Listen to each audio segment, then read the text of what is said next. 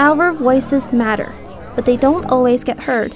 In 2016, the United Nations created a way to listen better and to take action.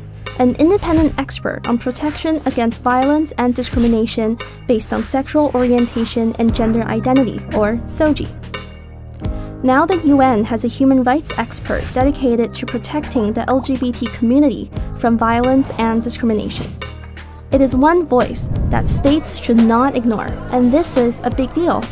They need to listen to our local communities and understand how we live through multiple intersecting forms of violence and discrimination. The independent expert on SOGI talks to states and works collaboratively with other UN and regional mechanisms, assists them to create policies and take action that better protect us. This expert can visit your country, meet authorities, and safely speak to activists and victims of human rights violations. This has already happened in four countries, and many more are on the horizon. The independent expert is easier to reach than you might think, and your contribution is so important.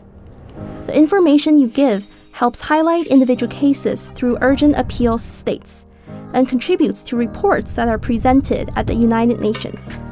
Through this work, since 2016, the world has heard more about the impact of criminalization, the need to legally recognize a person's gender, good practices to prevent discrimination, and the importance of data related to LGBT lives. Our communities really need this. Without stories from the ground, how can human rights mechanisms support those they are meant to serve? We fought hard for this, but it's not over yet. The mandate has to be renewed every three years, and some states continue to refuse to support it, claiming that sexual orientation and gender identity issues are too controversial.